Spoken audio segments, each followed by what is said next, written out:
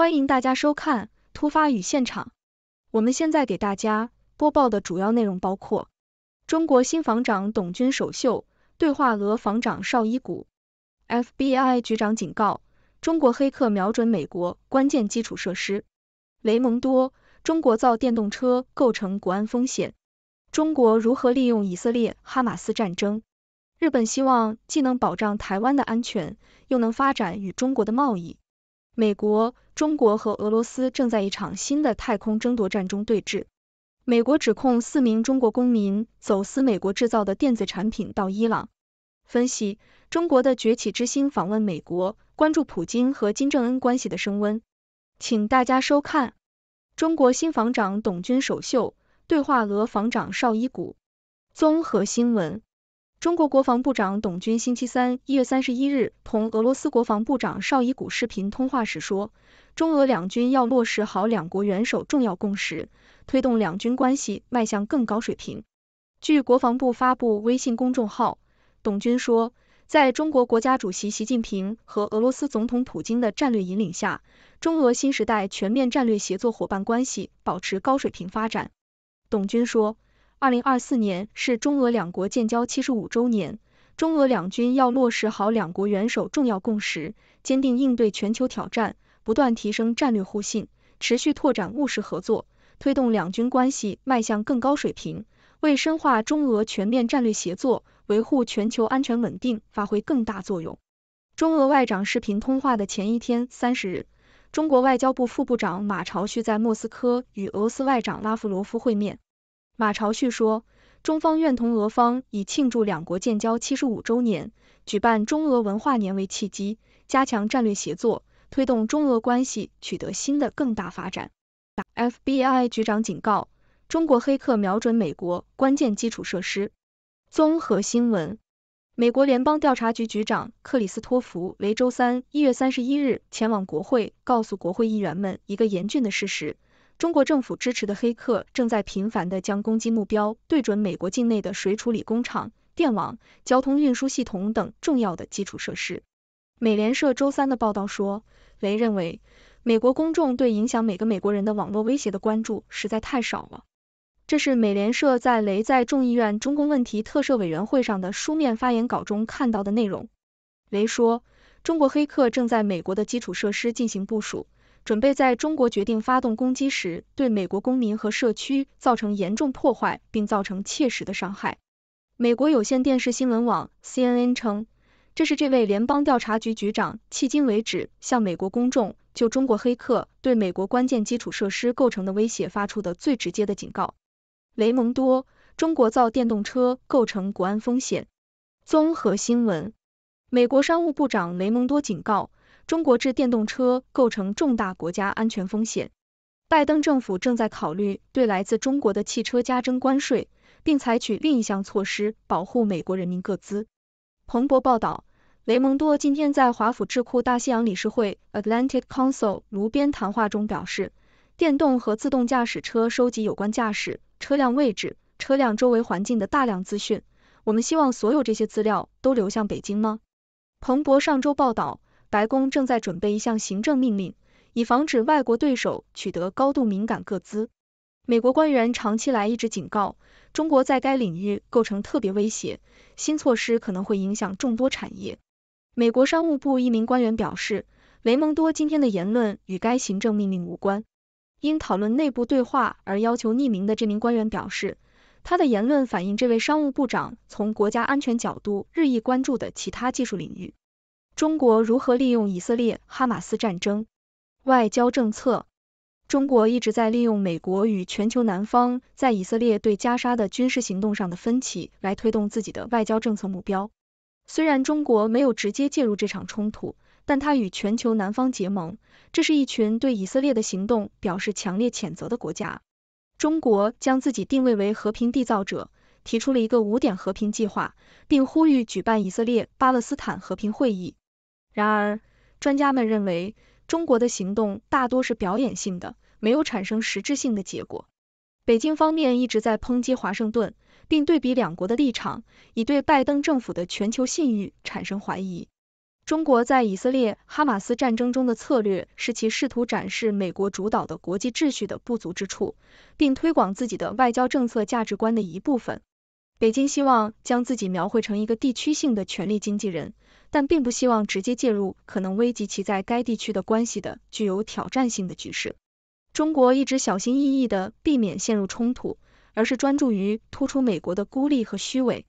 尽管中国的行动可能对加沙的局势没有产生重大影响，但他们帮助北京加强了与全球南方的联系，并推动了自己对全球治理的愿景。日本希望既能保障台湾的安全，又能发展与中国的贸易。外交政策，日本执政党自由民主党 （LDP） 的亲台湾议员提议举行包括美国议员在内的议会安全对话，显示出日本政治领导人对台湾的支持日益增长。日本已宣布计划将国防预算和相关支出提高到二零二七年的国内生产总值的百分之二，使其成为世界第三大国防预算。该国还与澳大利亚达成协议，向与中国在南中国海争端中对抗的东南亚国家提供援助，并讨论在东京设立北约办事处的问题。然而，日本的政策并不都指向同一个方向，因为中国仍然是其最大的贸易伙伴。美国、中国和俄罗斯正在一场新的太空争夺战中对峙。经济学人，随着越来越多的国家发展太空能力，并建造用于地球大气层之外战斗的武器，太空冲突的风险正在增加。美国特别关注中国在太空领域努力追赶或超越其主导地位的努力。美国太空部队作为最年轻的军种，正在迅速发展，以保持美国在太空领域的优势。然而，太空战争仍处于初级阶段，对于不同国家的能力和潜在冲突的可能性还有很多未知数。太空司令部的任务是探测威胁、威慑攻击和击败敌人。由于太空中物体数量众多且观测能力有限，探测太空威胁是一项具有挑战性的任务。威慑包括通过从少数易受攻击的大型卫星转向众多可以快速替换的小型卫星来增强韧性。在太空中击败敌人是一项复杂的任务，涉及开发更灵活的防御、精确打击和更好的卫星保护。太空中误判和灰区攻击的风险是一个重大关切。由于道路规则不明确且几乎没有军控前景，小规模对卫星的攻击有可能升级为更大规模的冲突。美国、中国和其他国家必须努力建立明确的太空活动规则和规范，以防止太空战争爆发。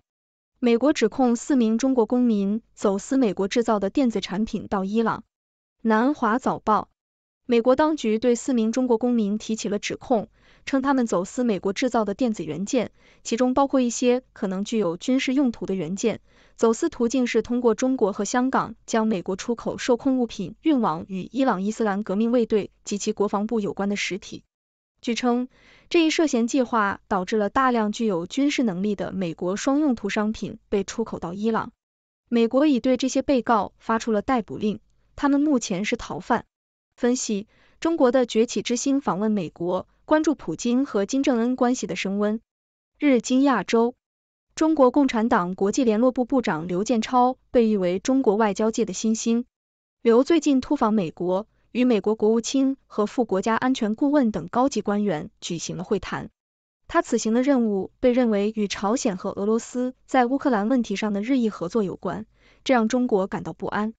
中国担心俄罗斯侵犯其势力范围，并将朝鲜获取俄罗斯导弹技术视为重大安全威胁。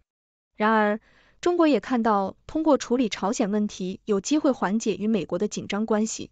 因为在朝鲜半岛问题上，中国和美国之间存在微妙的利益契合。刘建超访问美国，并随后与朝鲜官员会晤，表明中国正在积极与所有相关方合作解决朝鲜半岛局势。这正值朝鲜威胁日益增长和俄罗斯参与乌克兰冲突的时候。刘和其他中国高级外交官的行动将对亚洲和全球局势以及乌克兰的未来产生重大影响。又一位弹劾证人告诉共和党听到不想听的话。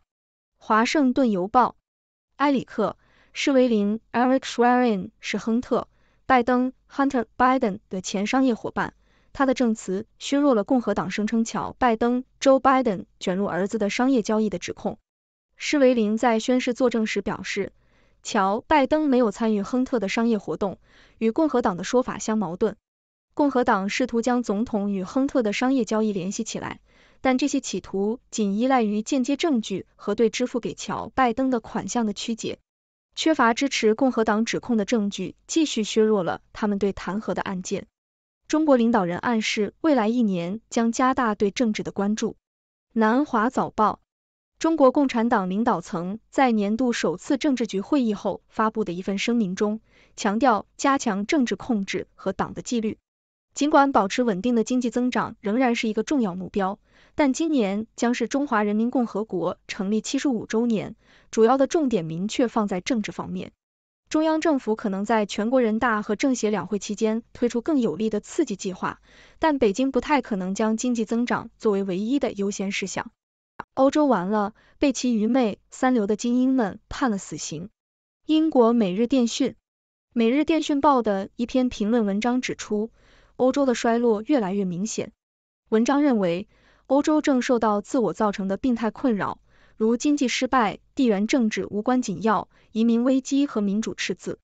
欧洲的精英们无力也不愿意解决这些复杂而艰巨的问题，结果就是社会分裂、政治激进化，以及德国、法国和荷兰等国家即将发生的社会爆发。相比之下，美国为年轻的欧洲人提供了更好的机会，税收较低。生活水平较高，自由度更大。美国虽然也有自己的问题，但仍保持着资本主义精神、活力和对科学技术的热爱。而欧洲则拥抱虚无主义、非自由主义和极度政治。欧洲的人口正在减少，福利国家正在崩溃，欧洲在世界舞台上变得越来越无关紧要。文章总结说，英国脱欧未能改变任何事情，欧洲的统治阶层继续忽视其公民的关切。欧洲的衰落正在加速，任何英国政府都愚蠢的将国家与之对齐。听到强大的引擎轰鸣，美国的经济活力来拯救。加拿大环球邮报根据华盛顿邮报的报道，美国经济正在经历强劲复苏，通胀下降，增长上升，成为全球复苏最好的国家。美国经济表现超过了竞争对手中国和 G 七国家。预测师预计去年的增长率不到百分之一，但实际增长率达到了百分之三点一，通胀率接近美联储设定的百分之二目标，失业率也很低。经济复苏对于拜登总统所在的民主党来说是个好消息，尤其是在选举年，这可能有助于缓解华盛顿的保护主义压力。这次复苏是由大规模政府支出推动的，类似于凯恩斯主义刺激。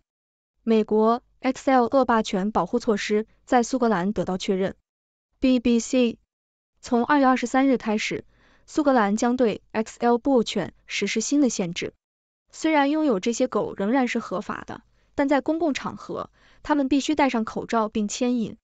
此外，禁止出售或交换 XL 布偶犬。从七月三十一日起，未持有豁免证书的拥有 XL 布偶犬也将构成违法行为。这些规定与英格兰和威尔士类似，从本周四开始需要持有证书。